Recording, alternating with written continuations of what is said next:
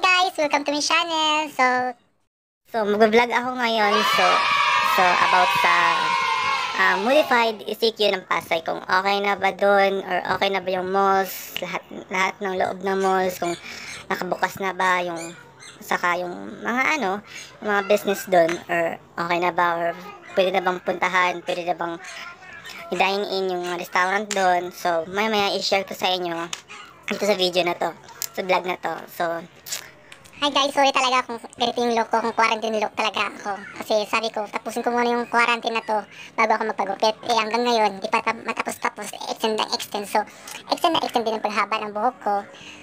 So, ito, ini-enjoy ko muna yung pagka-quarantine, di ba? Sayang naman kasi kung every month ako nagpapagupit at saka gastos kasi, di ba?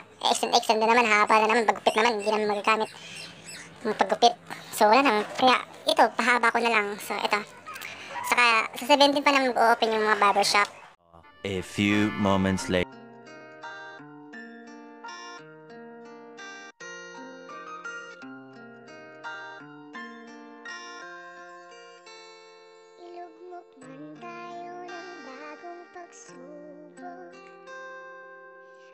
Puso natin di mapapagod Abutin ng kamay na handang tumamay Mga puso natin di mapapagod Nasa puso lang ba? Ilalim nga lighting. So, pupunta tayo ngayon sa um, Victoria Mall, Pasay. Okay, malapit na rin. Kaming lakad na